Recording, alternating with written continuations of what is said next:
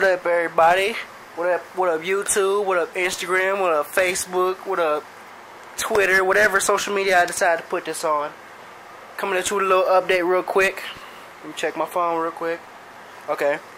Coming at you with a little, not really an update, but more of an unboxing video. My, uh, in my last video, I told you guys I ordered some, uh, some shorty mufflers, some little shorty pipes for the Busa. So we're gonna um, go ahead and unbox that and check those out. I ordered these from Amazon. I ordered a two pack since the Busa has uh, dual exhaust. So let's go ahead and crack this open real quick. Easy as that. Okay, yeah.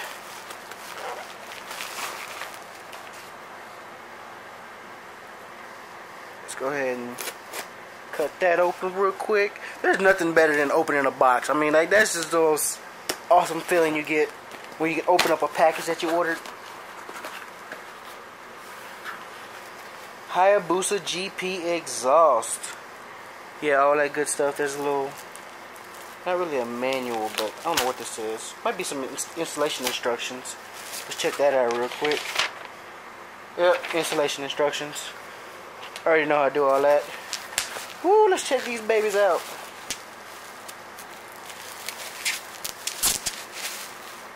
Oh yeah, I like that.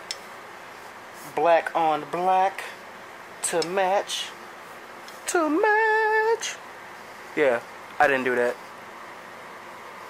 I don't know if you can see in there, but there's actually the, where all the uh, internals is. I forgot what they call it.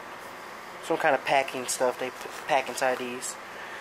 I don't know much about mufflers, but I know I wanted the shorty muffler because a friend of mine has the exact same Busa I got, and uh, he's he's got these on his. So let's pull out the other one. Oh, I'm making a mess, guys. Yep. So these go out to both sides on the bottom. It's got the packing in there too. It's not just like a little pipe. I can make this, but no, there are actually stuff inside of it.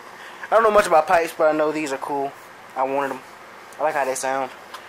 And people keep telling me I'll lose back pressure by putting the shorty, changing up my mufflers. To tell you truth, I don't really care. But yeah, this is the the Busa Shorty exhaust. Probably gonna install these in a little while. I'd say about next 15, 20 minutes. Depends on how hot it is outside because it looks pretty hot. Alrighty. What up, what up, YouTube? It's your boy Bronnix26 coming at you with a little update. First off, before I start this video, just want to let you guys know I put some shorty pipes on the Busa. I took off the big, uh, I had some Yoshis on here, some Yoshimura. The full pipe that came out like right here, so I took them off. I wanted that deep rattle sound, and I got it, baby. Oh my god. I love this so freaking much. Now when I extend the back end, it's gonna be freaking awesome. It's gonna be freaking awesome, guys. One more time, one more time.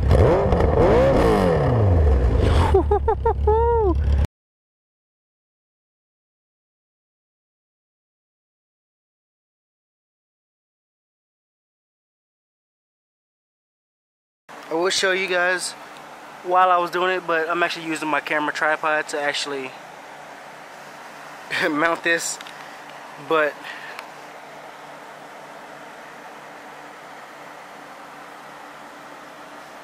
flawless. And I'm doing this with rattle cans, guys. So yeah, I don't have my. I have a actual spray gun and everything, but that's best for Plasti Dip.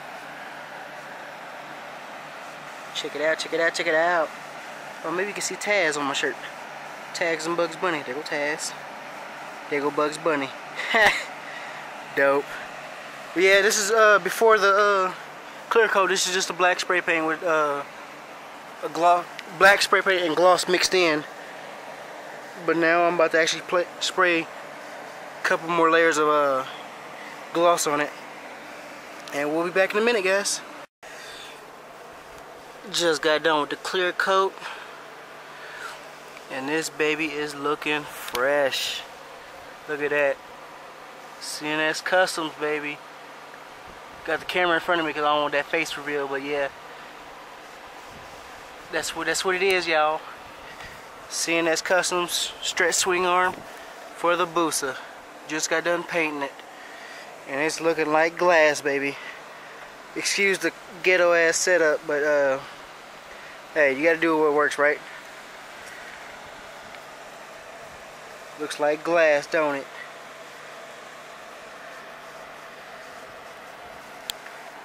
some of y'all gonna be looking for the face reveal in the reflection. Y'all need to be paying attention to this dope ass swing arm though. Got the underbracing I added on there. You know what I'm saying? I had to get the underbracing on there. That's a little imperfection in the actual bar itself. That's not the paint. Right there. On that side right there. That's the actual imperfection in the metal. That's not the paint, believe me. My paint's flawless, baby. You can actually see it. It's like a dent in the metal. But whatever. It still looks good. I can't wait to throw this baby on. 10 inch stretch overall. But yeah, this baby is, is kicking. It's got the CMS Customs right there. Oh baby, I can almost see myself. If I move this camera, I can see my face. That's how that's how glassy it is. Then you got the CMS Customs on the back of the swing arm, each side. You can't really see it because I'm the light. It's it's horrible, but yeah. This is the baby right here. I can't wait to throw this baby on. 10 inch stretch swing arm for the Busa. Coming soon. Before I go, I wanted to show you guys where I actually taped off. If you look right here, and that line right there all the way around I taped off on both sides. I taped off right here. There's some bearings in there too as well. I didn't take off for the brake mount because it's just a little part that goes through and it's gonna bolt on each sides. And the inside where the wheel's gonna mount I taped off around the sides. Just to uh, because I watched one of Motonosity's videos and he had his uh, swing arm for his um, supermoto build. And they had to shave off the paint right there. And it's not going to show anyway so not a big deal to me. I just taped off from this little this weld line all the way to down here on the inside of the swing arm. On the outside it's all painted. And also taped where the chain uh, adjust bolt goes I taped off right there too but that's all the places I taped off and prepped and I cleaned it and everything like that. But yeah. Baby booty smooth, bro. Baby booty smooth.